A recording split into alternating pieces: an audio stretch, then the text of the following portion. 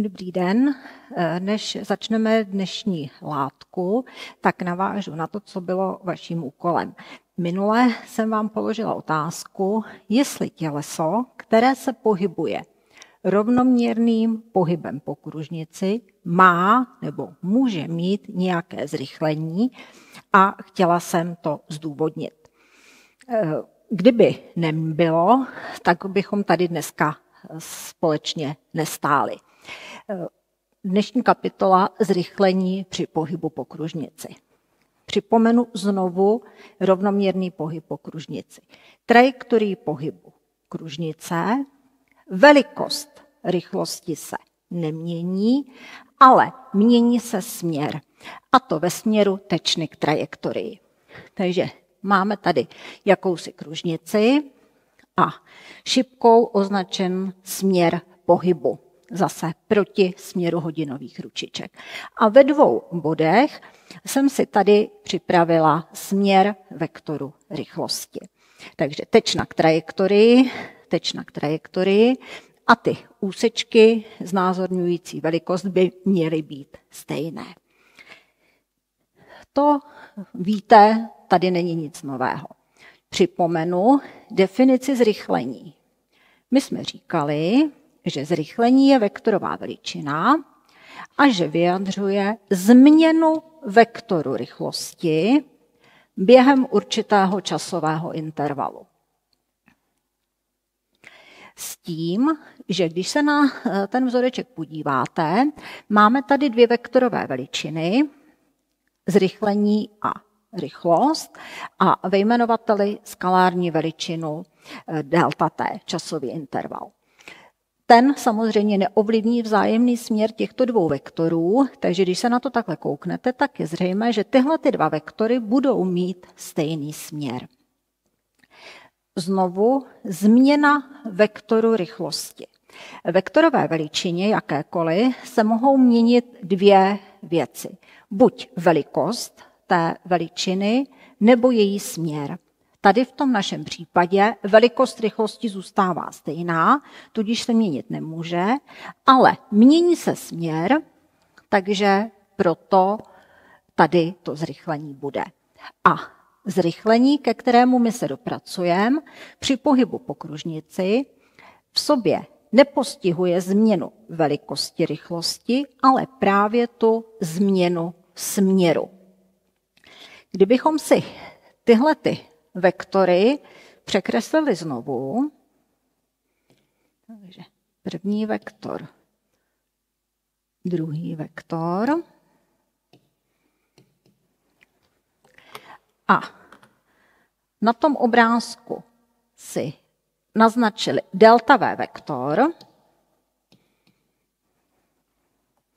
a přenesli tadyhle na ten obrázek, tak to delta V, ta změna vektoru rychlosti, vždycky míří do středu kružnice. Jo, delta V vektor, tedy změna vektoru rychlosti, míří vždy do středu kružnice. A protože jsme si řekli, že zrychlení a delta V vektory mají stejný směr, tak i to zrychlení bude mířit do středu kružnice. A protože míří do středu, tak se tomu zrychlení říká dostředivé zrychlení.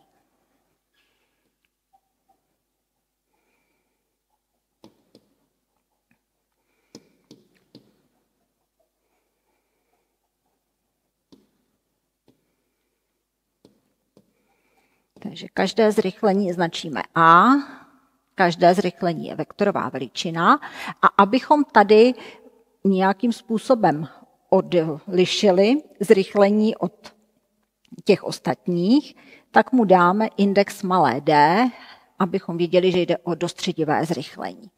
No a to dostředivé zrychlení můžeme spočítat dvěma způsoby. Buď omega na druhou krát r, nebo v na druhou lomeno r. Připomenu ty význam těch eh, písmenek. Omega úhlová rychlost nebo úhlová frekvence, R, poloměr, tady v našem případě poloměr té kružnice, nebo V, obvodová rychlost a R zůstává. Když si dosadíte do kteréhokoliv eh, toho vzorce a odvodíte si jednotku pro dostředivé zrychlení, tak samozřejmě i tady jednotkou zrychlení vám vyjde metr sekunda na méně druhou. Takže vzoreček velmi jednoduchý, stačí si pamatovat jeden, protože vzájemný vztah mezi obvodovou a úhlovou rychlostí znáte z minula. Takže kdybychom to nějak rychle schrnuli, tak těleso, které se pohybuje po kružnici rovnoměrným pohybem, přestože jeho pohyb je rovnoměrný, má při svém pohybu zrychlení. A to proto, že se mění směr vektoru rychlosti. Ta změna vektoru rychlosti, ten delta V vektor, míří vždy do středu kružnice a protože jsme si řekli, že tyto dva vektory mají vždycky stejný směr, tak i to zrychlení míří do středu kružnice a proto se mu říká dostředivé zrychlení. No a máme tady dvě možnosti, jak to dostředivé zrychlení spočítat. Takže tím bychom měli hotov rovnoměrný pohyb po kružnici a v podstatě i celou kinematiku. A než opustíme kinematiku, tak máme tady dva příklady. Zase pro vás připravené okamžiku, kdy jsem vám kladla otázku, jestli těleso při pohybu po kružnici bude mít nějaké zrychlení, tak jsem vám tam zadávala úkol nebo dotaz na oběžné doby ručiček hodin. Vteřinová ručička, minutová ručička a hodinová ručička. Takže první příklad bude na právě minutovou ručičku, nějakých nástěnných hodin, jejíž poloměr bude 20 cm a mě zajímá obvodová rychlost jejího koncového bodu. Takže ještě jednou, minutová ručička má délku 20 cm a určete obvodovou rychlost jejího koncového bodu. Takže jediný zádrhel může být v tom, že dobře nebo špatně určíte oběžnou dobu té minutové ručičky. Nenechte se mást tím přívlastkem minutová. Té minutové ručičce trvá oběh jednu hodinu. Vy víte, že hodina není úplně ideální jednotka, takže převedete na sekundy jako 3600. Ještě poloměr převedeme také na správné jednotky a můžeme počítat. Máte-li oběžnou dobu, tak jste schopni spočítat úhlovou rychlost. A to vzorečkem 2π lomeno t. Takže když dosadíte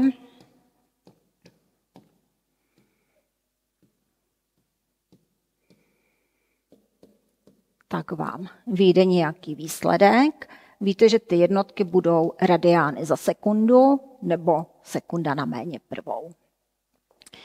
Ale my jsme nechtěli úhlovou, ale obvodovou rychlost. No a vzájemný vztah je V se rovná omega R. Takže zbývá jenom dosadit ten váš výsledek krát 0,2. A budete mít dopočítáno a vyjde vám samozřejmě rychlost v metrech za sekundu. Takže to je ta první část výpočtu dneska připravených. Pokud by ta ručička byla vteřinová, tak její oběžná doba by byla jedna minuta, tedy 60 sekund.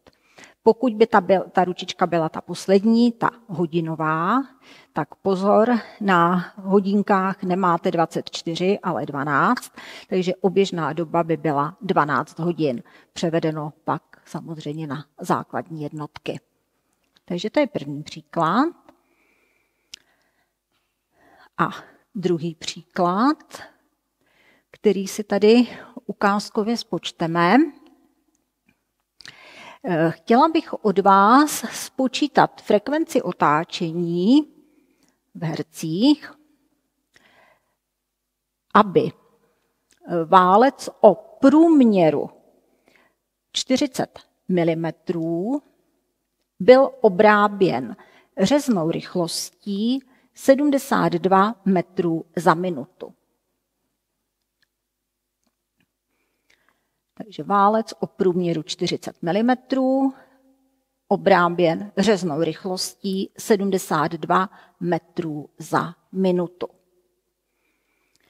Takže první, co je potřeba udělat, z průměru se dostat na poloměr, takže děleno dvěma, 20 mm, to znamená buď 0,02 metru, nebo bychom mohli psát 20 krát 10 na méně třetí metru, je to jedno. Další neúplně ideální jednotka je eh, těch 72 metrů za minutu. Víte, že musíte převést. Čitatelé 72 metrů máme v pořádku za jednu minutu.